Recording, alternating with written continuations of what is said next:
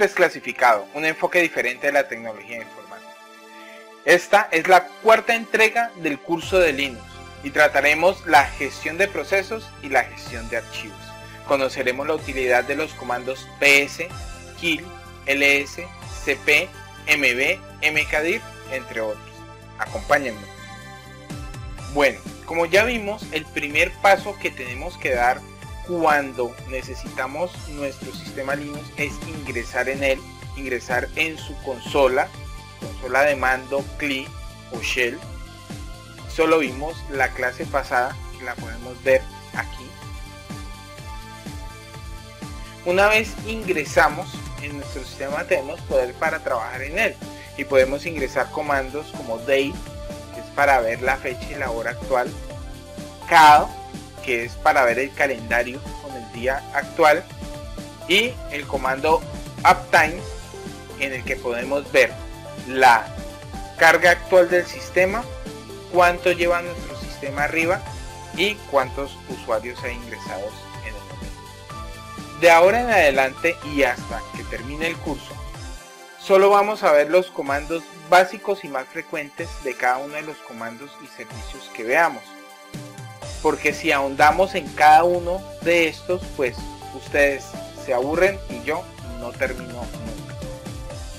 Más bien pueden hacerme preguntas, yo con mucho gusto se las responderé, o pueden sugerirme tutoriales de temas específicos para que hagamos.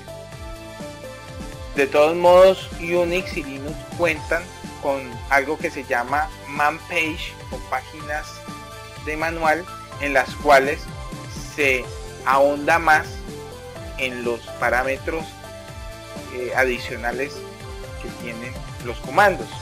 Este man es muy fácil de utilizar, simplemente se teclea man espacio, el nombre del comando y te sale una página de manual en la cual te explica más a fondo cuáles son los parámetros adicionales que tiene un comando específico. Pero ahora, bueno, ahora ya necesitamos comenzar a tener control de nuestro sistema, por lo menos a nivel de usuario. Lo primero que debemos aprender es qué está corriendo en nuestro sistema, cuáles son los procesos que están corriendo en nuestro sistema. ¿Por qué? Bueno, porque los procesos son la razón del sistema computacional, computador, ordenador, queramos llamar. El procesador de palabras es un proceso, la hoja de cálculo es un proceso, el navegador de internet es un proceso y también cuando nosotros administramos un servidor, cualquier servicio que prestemos nosotros, eso es un proceso dentro de la máquina. Entonces por eso necesitamos saber y manejar qué son los procesos. En la clase número 2 del curso estuvimos viendo qué son los procesos y cómo lo maneja el núcleo de Linux. Eso lo puedes ver aquí. Ahora comencemos por poner este conocimiento en práctica. El primer comando con el que vamos a trabajar es ps. Este comando lo define la página del manual o man page como una captura o snapshot del estado de los procesos en el momento en que se ejecutó el comando. En pocas palabras nos muestra los procesos que estaban corriendo un momento atrás. En su forma básica, PS nos muestra los procesos que estamos corriendo en el momento. En este caso, en esta sesión, estamos corriendo la shell bash y el comando ps. Para abrir un poco nuestros ojos, pues podemos utilizar un parámetro que es el parámetro x el parámetro X nos va a mostrar los procesos que no están corriendo en una terminal específica, o sea que están corriendo en background, que no están corriendo en primer plano, sino que están corriendo atrás.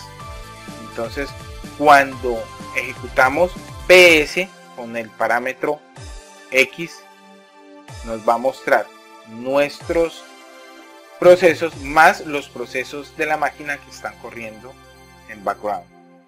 Pero esto no es todo. Si agregamos el parámetro A, que nos muestra los procesos de los usuarios, tendremos un panorama mucho más grande de lo que corre en nuestra máquina. Sin embargo, ¿de qué nos sirve esto si no sabemos quién corre estos procesos?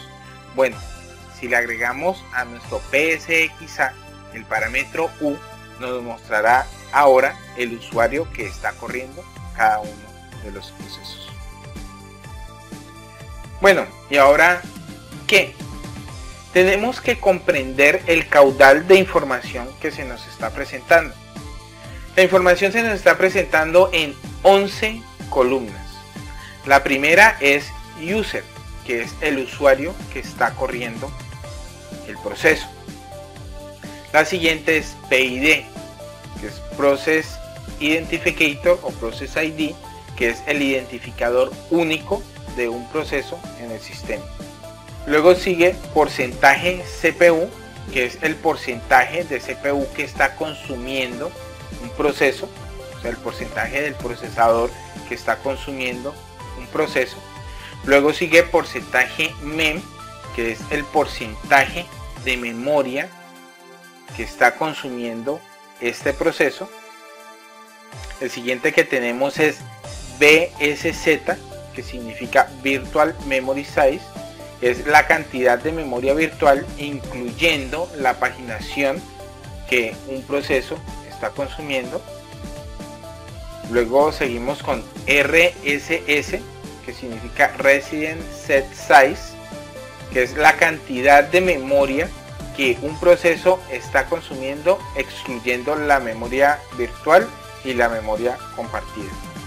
La siguiente es muy fácil, es TTY, que es la terminal en la cual está corriendo un proceso. Cuando sale un interrogante es que está corriendo en background, o sea, no hay una terminal que esté gobernando ese proceso. Luego sigue stat, que es el estado de un proceso. Start, que es la hora en la que inició el proceso. Time, que es el tiempo de procesador que lleva consumido el proceso en particular. Y la última que es command, que es el nombre del proceso. Bueno, de estas 11 columnas, 9 son muy fáciles. Pero hay dos que de pronto son muy ambiguas y hay que aclarar, que son el tiempo de procesamiento y el estado de los procesos. Entonces clarifiquemos. El tiempo de proceso es el tiempo de procesador consumido por dicho proceso. No se refiere al tiempo que lleva activo desde que se ejecutó, sino al tiempo de procesador que ha consumido, ya que el proceso no se encuentra corriendo constantemente eh, consumiendo el procesador, sino que la mayoría del tiempo permanece en espera. ¿Por qué? En los sistemas multitarea no se ejecutan varias tareas al mismo tiempo, aunque pareciera. Simplemente se alternan el uso del procesador entre los procesos. Para dedicarle cierta cantidad de tiempo, el sistema operativo tiene un planificador, eso ya lo vimos en la clase número 2 del curso.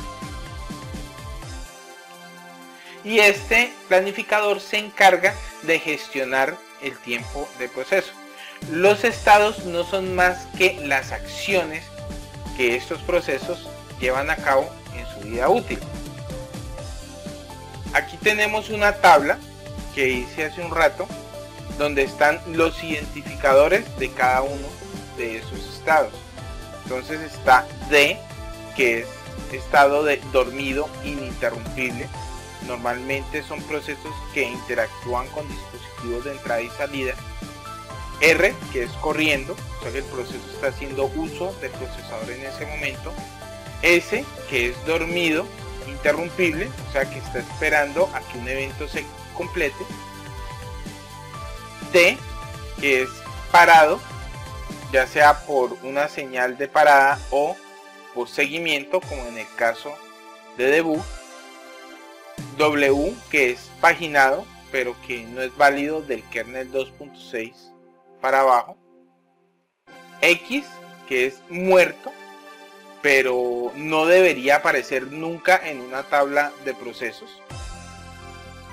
Y Z, que es difunto o zombie, que es cuando un proceso ya ha terminado, pero no ha sido reportado al proceso padre. Es decir, aparece en la tabla de procesos, pero el proceso ya ha terminado. Ahora, después del estado del proceso vemos unos caracteres adicionales que son menor que, que es alta prioridad no establecida por un usuario, N, que es baja prioridad establecida por usuario, L mayúscula, que significa que hay páginas bloqueadas, por lo general también se refiere a dispositivos de entrada y salida o tiempo real. S minúscula, que es líder de sesión, o sea que tiene procesos hijos. L minúscula, que es multihilo, o sea, se ve como un solo proceso, pero en realidad tiene múltiples hilos. Y el signo de más, que significa que es parte de un grupo de procesos que corre enfrente, o sea, en foreground. Por último, tenemos el comando ps acompañado del parámetro f. Entonces podríamos colocar psxauf y este nos muestra la tabla de procesos en forma de árbol, cada padre con su hijo hasta llegar hasta el proceso final. Acá tenemos un ejemplo de nuestra shell bash, la cual tiene un hijo que es el proceso ps. El comando ps3 nos muestra el mismo árbol que nos muestra psxauf, pero de una manera más simple detalles. También podemos mostrar el PID dentro de PS3 con el parámetro "-p y podemos mostrar el grupo del usuario que corre el proceso con el parámetro "-g. Entonces podemos hacer ps3 "-p "-g. Algo muy importante de conocer el árbol de la tabla de procesos de nuestro sistema es que podemos terminar procesos, matarlos cuando sea necesario. Esto lo podemos hacer con el comando kill. El comando kill tiene la sintaxis de kill, espacio y el PID del proceso que queremos matar. Entonces tenemos aquí unos ejemplos. Hacemos PSU para ver los procesos que estamos corriendo nosotros como usuario entonces vemos dos procesos llamados pico. Estos procesos los vamos a matar de dos formas. Una, de una forma sencilla, dándole kill y el PID del proceso. Entonces nos termina el proceso con term y el otro lo vamos a matar con kill menos 9 y el PID. En este caso nos mata el proceso con la señal kill. ¿Recuerdan que en la segunda clase hablábamos de las señales? Bueno, en el primer caso enviamos la señal term, lo que nos terminó el proceso, pero en algunos casos esto no es suficiente. ¿Por qué? Porque el proceso se queda atascado haciendo algo y nosotros necesitamos terminar el proceso inmediatamente. Por eso utilizamos el parámetro menos 9 que envió la señal de kill y terminó el proceso inmediatamente sin esperar nada. Tenemos otro comando que se llama killol. Killol hace lo mismo que kill, pero no mata por medio del PID, sino por medio del nombre del proceso que estamos ejecutando. Entonces, tenemos otra vez nuestro PSU y los dos los vamos a matar con un solo comando y LOL. Entonces aquí podemos ver cómo los dos mueren al mismo tiempo con SIGTERM. Y vamos a repetir el mismo ejemplo con kill all menos 9. Y aquí vemos cómo los dos procesos mueren con la señal de kill. Esto de las señales los veremos más adelante en detalle cuando estemos viendo la parte de administración del sistema como usuario root. Por ahora nos vamos a enfocar solo en las funcionalidades de usuario. Bueno, hasta aquí dejamos el manejo de procesos por ahora y nos vamos a enfocar en el manejo de archivos. Como ya vimos en la clase número 2, el sistema de archivos está organizado de forma jerárquica, es decir, carpetas que contienen subcarpetas en forma de árbol y estas contienen a su vez ficheros. Bueno, pero ¿cómo visualizamos todo esto? Para esto nos ayudaremos del comando ls. El comando ls nos muestra los archivos y los ficheros que tenemos en el punto donde estamos parados, si lo ejecutamos solo como ls. ls con el parámetro "-l nos enseña la misma información, pero con datos detallados. Primero, permisos de archivo. Luego, la cantidad de links luros o literales que hacen referencia a nuestro archivo. El usuario propietario, el grupo propietario, el tamaño del archivo. En el caso de los directorios, él toma un valor en relación al tamaño de los bloques del sistema, que en este caso son 4K. La fecha y hora de la última modificación del archivo, que son las tres columnas que siguen, y para finalizar el nombre del archivo. El parámetro menos "-a" nos muestra los archivos ocultos. Y digo ocultos porque simplemente son precedidos por un punto que el ls predeterminadamente no lee. Entonces podemos dar el comando ls "-a" o ls "-la" combinando los parámetros. Para aclarar, cada vez que hacemos ls vamos a ver dos directorios en todas las carpetas donde estemos. Estos directorios son el punto y el dos puntos. Estas carpetas o directorios son simbólicos y actúan como una brújula para nosotros ubicarnos en el sistema. El directorio punto significa la carpeta donde estamos actualmente. Es decir, si nosotros hacemos pwd, vemos que estamos parados en slash home slash fox. Eso es representado dentro de ese directorio como punto. Entonces daría lo mismo referenciar punto o referenciar slash home slash fox estando parados en este punto. Lo mismo pasa con el directorio punto punto.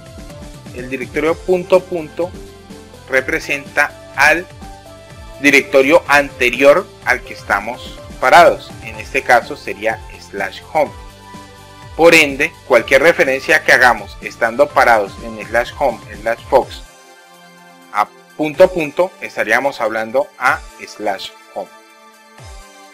ls también nos permite hacer un barrido de las carpetas y subcarpetas de forma recursiva. Esto lo podemos hacer con el parámetro "-r mayúscula. Cuando queremos saber los detalles de un archivo podemos hacer ls "-l y el nombre del archivo. También lo podemos hacer en grupos de archivos utilizando el comodín asterisco, colocándolo en los archivos que preceden o anteceden determinada cadena de caracteres. Como por ejemplo queremos listar todos los .jpg que tenemos en nuestro directorio lo podemos hacer con asterisco.jpg también queremos listar todos los archivos que comiencen por ala. Entonces ejecutamos el ls ala asterisco y nos va a mostrar todos los archivos que comiencen por ala ls soporta todos los comodines de expresión regular, pero esto lo vamos a ver cuando estemos viendo Shell Script más adelante. Esto de mirar los detalles de un archivo con solo el ls-l no funciona con los directorios. ¿Por qué? Porque cuando ejecutamos ls-l a un directorio, este nos muestra el contenido del directorio. Entonces para poder ver los detalles de un directorio tenemos el parámetro "-d", que funcionaría de la misma forma que, como vimos con los archivos, anteriormente. Nos muestra los detalles. Ahora, para poder ver el tamaño de una mejor forma, una forma más entendible, pues LS también soporta el parámetro "-h", que significa formato legible al humano, y nos permite ver los tamaños de los archivos en bytes, kilobytes, megabytes, gigabytes y terabytes.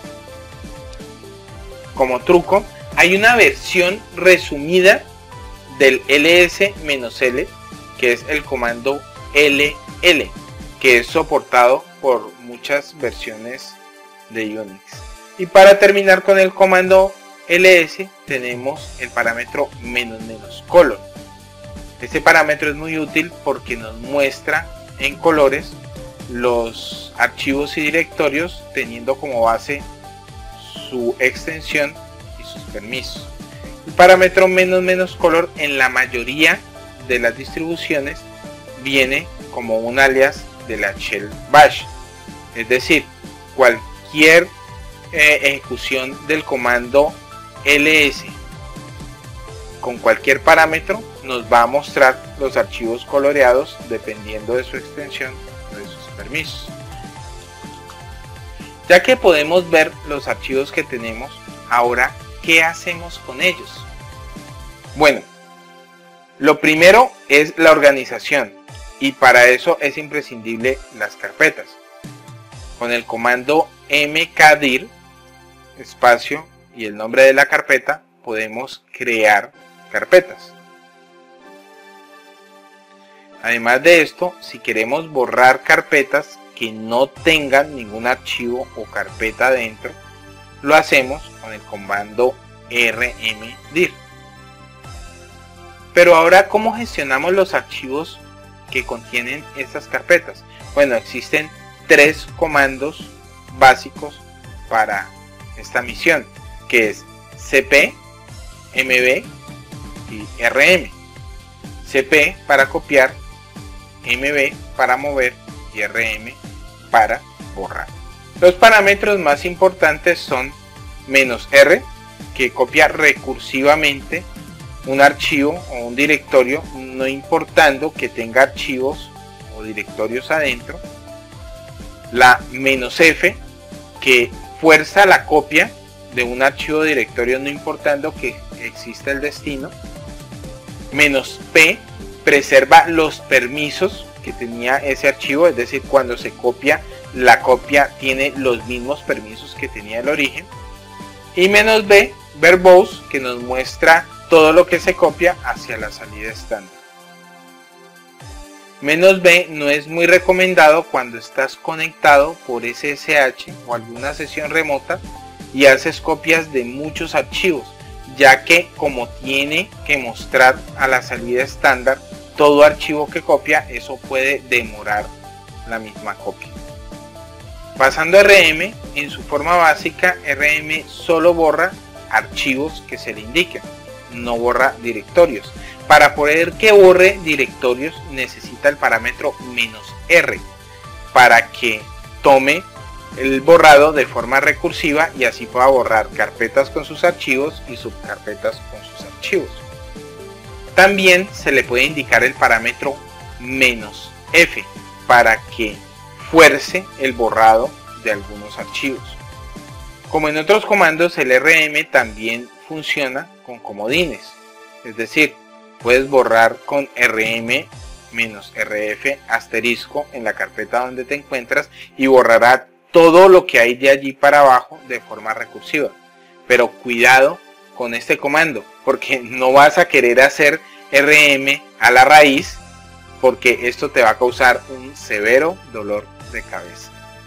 Y de estos tres, el que queda es mb. mb nos mueve un archivo de una ubicación del disco a otra, o de una carpeta a otra.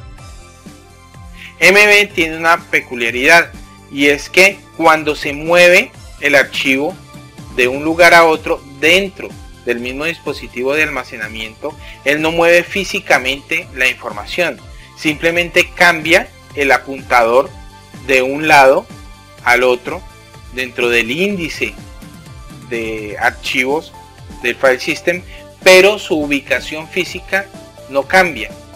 Cuando movemos de un dispositivo de almacenamiento a otro dispositivo de almacenamiento, si se comporta haciendo una copia hacia el otro dispositivo y borrando el origen.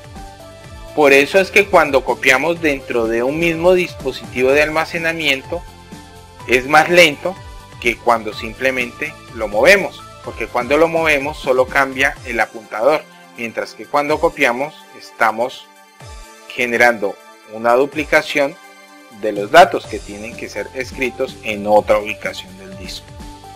Ahora que tenemos las herramientas para gestionar nuestros archivos podemos ir más allá y podemos efectuar búsquedas en nuestro sistema. Esto lo hacemos con el comando find. La sintaxis del comando find, la sintaxis básica, es la siguiente. Find, ruta, menos name y la expresión para buscar el archivo que queremos encontrar. Por ejemplo, find raíz menos name uname, que es un comando que ya conocemos mucho. Entonces él nos busca en la raíz eh, el comando uname de forma recursiva. Estamos utilizando dos mayor que, las dev, las null, para que no nos muestre los mensajes de error, ya que como estamos como un usuario y estamos buscando en todo el sistema desde la raíz, entonces nos va a sacar algunos errores de permisos. No queremos que salgan, entonces por eso vamos a redirigir el error estándar hacia el dev, el null. Con find también podemos hacer búsquedas con comodines, como por ejemplo asterisco. Un ejemplo puede ser find slash menos name lib asterisco y esto nos va a mostrar todos los archivos que contengan al principio lib. También podemos usar find slash menos name asterisco lib y esto nos va a mostrar todos los archivos que terminen en lib. Para terminar el ejemplo podemos colocar find slash menos name asterisco lib asterisco y nos va a mostrar todos los archivos que encuentre donde dentro de la cadena de caracteres se encuentre lib. Como en el caso de los comandos anteriores, find también soporta expresiones regulares, pero vamos a dejar las expresiones regulares de find para una clase futura en la cual solamente vamos a dedicar al comando find. Para finalizar, tenemos aquí una herramienta muy útil para la gestión de archivos y de dispositivos de almacenamiento. Se llama MC. El programa MC o Midnight Commander, comandante de medianoche, es un clon de una utilidad para DOS llamaba Norton Commander, desarrollada por el famoso hacker de DOS Peter Norton. MC, por su lado, fue desarrollado por el en ese entonces joven mexicano Miguel de Icaza, conocido contribuidor del software libre en proyectos como Genome y Mono, siendo MC su primer proyecto como contribución a GNU, de Icaza elaboró una herramienta maravillosa que aún hasta hoy ha sido portada a la mayoría de los sistemas operativos tipo Unix y también existe una versión de MC para Windows. Bueno, cuando entramos al MC podemos observar que está dividido en cinco partes diferentes. Un menú superior, un panel izquierdo, un panel derecho, un prompt de shell para ejecutar comandos y un menú de teclas de función. La barra del menú nos muestra las opciones del panel izquierdo, las opciones del panel derecho las funciones de archivos, las utilidades y las opciones del programa. Cada panel independiente nos muestra dos vistas de dos ubicaciones diferentes del sistema. También nos indica la utilización del dispositivo de almacenamiento que estamos, en el que estamos parados en ese momento, con su utilización y el total del dispositivo de almacenamiento. El prompt nos permite ejecutar cualquier comando de shell. Con la combinación de teclas control O desaparecemos la interfaz del MC, lo que nos muestra la salida estándar del shell. Y si queremos ver otra vez la interfaz del MC, volvemos con control O de nuevo. El menú de teclas de función es la parte más útil de este programa, ya que nos permite hacer las mismas funciones con los comandos que acabamos de ver, pero en un ambiente pseudográfico. Pseudográfico porque utiliza las librerías Ncurses y Slang para dibujarnos en la pantalla con caracteres una interfaz. Entonces las teclas de función son F1 para ayuda, F2 para el menú de usuario, F3 para ver, F4 para editar, F5 para copiar, F6 para mover o renombrar, F7 para crear un directorio, F8 para borrado singular o también recursivo, F9 para el menú de los paneles y F10 para salir de la aplicación. Y bueno, así llegamos al final de esta cuarta clase de nuestro curso de Linux. Ya vamos adentrándonos más en lo que es nuestro sistema operativo y no olviden que lo que aprenden aquí no solo se aplica en el sistema operativo Linux, sino que la mayoría también se aplica en todos los sistemas parecidos a Unix o basados en Unix. Si les gustó, hagan clic en la manito y no olviden suscribirse a mi canal y compartan. Compartan con todas las personas que crean que necesitan esta información. También nos pueden seguir en Facebook para enterarse de todo lo que vamos publicando.